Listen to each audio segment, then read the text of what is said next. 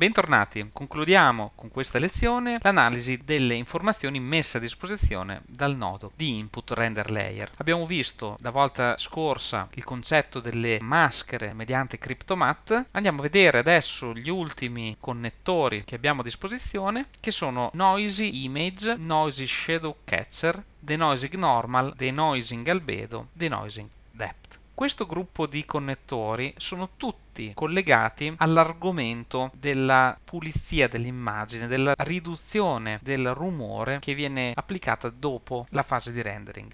La prima, Noisy Image, ci mostra l'immagine uscita dal nostro motore di rendering, però senza alcuna applicazione appunto della riduzione del rumore, il denoise. Ce ne possiamo rendere conto facilmente nelle zone un po' più scure dell'immagine, vediamo tutti questi puntini che sono appunto il rumore e l'uscita Noisy Image ci consente di utilizzare un nodo chiamato appunto denoise per andare a personalizzare l'applicazione della riduzione del rumore. Cioè noi possiamo chiedere a Blender di applicare il denoise semplicemente come poi è già stato fatto in questo rendering, quindi se io vado a vedere eh, l'immagine in uscita nuda e cruda così come viene fuori dal rendering, mi trovo l'immagine già pulita. Però io posso voler gestire in maniera più puntuale il modo in cui viene applicato il denoise nella mia immagine, quindi posso utilizzare come punto di partenza l'immagine rumorosa alla quale ancora non è stato applicato il denoise per successive elaborazioni. In questo caso si utilizza il nodo denoise, che magari vedremo più avanti, che utilizza come input appunto l'immagine che stiamo vedendo in questo momento e può avere anche il noisy shadow catcher. Abbiamo visto in una delle lezioni precedenti che cos'è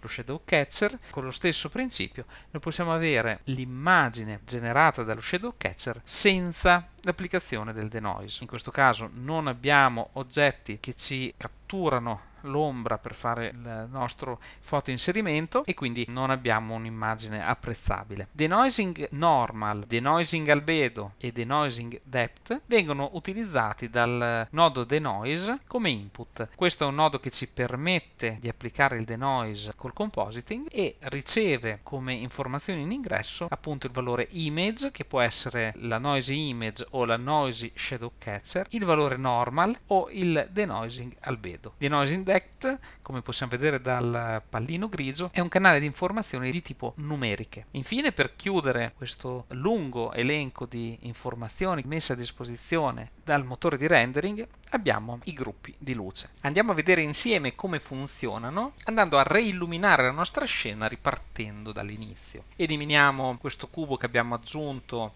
nelle lezioni precedenti, impostiamo come camera camera 001 che è il punto di vista originale, quindi andiamo a togliere la luce del background e andiamo all'interno dell'outliner a spegnere le luci. Qui abbiamo una luce di tipo point che per l'occasione andiamo a mettere dentro la collection delle luci, ricordiamoci sempre di cercare di essere almeno un pochino ordinati. E andiamo a spegnere entrambe le luci. Quindi passiamo in vista rendered e vediamo cosa succede. La nostra scena non è completamente buia, è comunque illuminata dall'oggetto cubo. Andiamo a spegnere anche questo. Adesso sì, la nostra scena è completamente buia, non ci sono fonti di luce. Questo oggetto cubo lo inseriamo sempre nella collection delle luci perché è stato inserito appunto per illuminare la scena. Adesso è un po' come se fossimo in eh, uno studio fotografico. E lavorando in uno studio, comunque in un ambiente in cui si può ottenere il completo controllo delle luci, come appunto in Blender, una scena di Blender, bisogna provare a costruire l'illuminazione sul soggetto una lampada alla volta, un punto di luce alla volta e non sistemare le lampade a caso, cioè dobbiamo cercare di avere una nostra logica.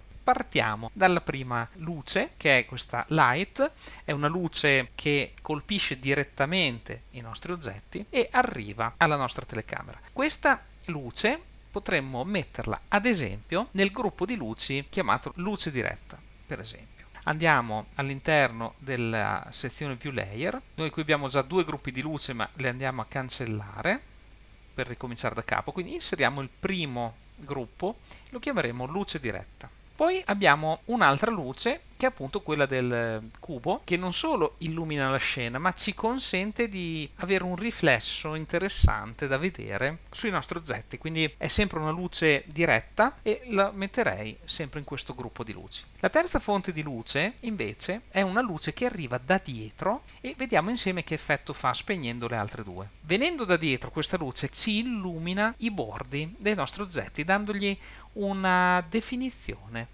maggiore. Questa luce la potremmo inserire in un altro gruppo, non nel gruppo della luce diretta, ma nella luce, ad esempio, di contrasto. Come facciamo però adesso a dire a Blender che questa luce deve far parte del gruppo luce di contrasto, mentre le altre due luci devono far parte del gruppo luce diretta. Andiamo a vederlo insieme. Adesso in questo momento è selezionata la luce sul retro della nostra scena. Andiamo all'interno della sezione Object, quindi nella sezione Shading andiamo a indicare che non vogliamo più nel gruppo luci 2 che tra l'altro abbiamo cancellato, quindi non esiste più, ma il nostro oggetto deve far parte della luce di contrasto. Andiamo adesso invece a selezionare il cubo, andiamo sempre all'interno del pannello Object, sempre nella sezione Shading, troviamo Light Group e anche qui, anziché indicare luce di contrasto, lo mettiamo in luce diretta. Nell'ultima luce, quella principale, diciamo, anche qui andiamo nella sottosezione Shading, eliminiamo il richiamo al gruppo luci 1 che non esiste più e andiamo a indicare che questa luce fa parte della luce diretta.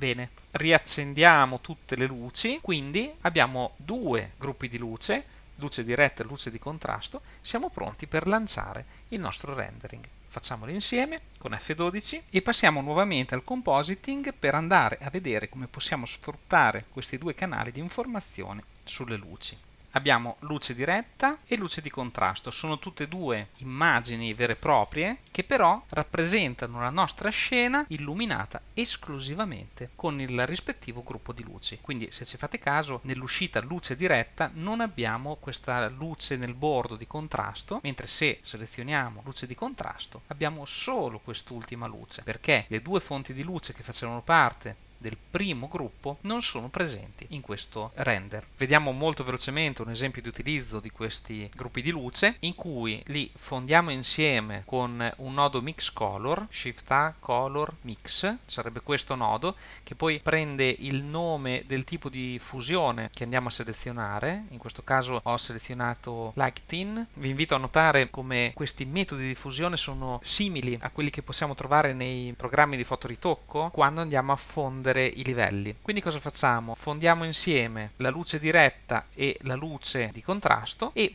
prima di arrivare al nodo che li mescola insieme possiamo andare a modificare le singole immagini. Ad esempio in questo caso sono andato a dare un tocco di colore caldo alla luce sul retro quindi vediamo i riflessi sui bordi dei nostri vasi che non sono più bianchi ma sono di colore giallo. Naturalmente possiamo fare tutti gli esperimenti che vogliamo. Invece nell'altro gruppo di luci sono andato a inserire un nodo che regola l'esposizione quindi posso andare a decidere di aumentare o diminuire diminuire l'esposizione che deriva dall'illuminazione principale. In poche parole, posso andare ad aumentare o diminuire il peso che ha un determinato gruppo di luci rispetto agli altri. Vi faccio notare che però le immagini che escono da questi canali sono immagini a cui non è stato applicato il denoise. Vado a eliminare questi due nodi per ottenere praticamente la stessa immagine in uscita del rendering e vi faccio notare come la grana sia ben visibile. Questo perché appunto le informazioni in uscita dai gruppi di luce non è trattata dal denoise. Naturalmente possiamo farlo noi successivamente col nodo denoise. Bene, per questa breve lezione è tutto. Io come sempre vi ringrazio per aver avermi seguito